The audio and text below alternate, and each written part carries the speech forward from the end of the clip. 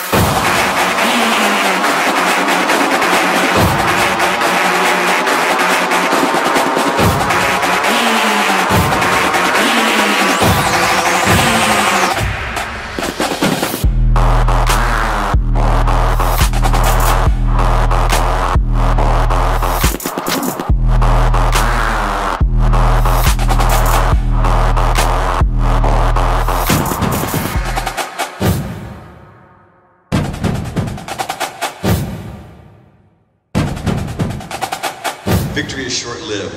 The way you play the game is not easily forgotten. I love you guys. Have a good time today. God bless you.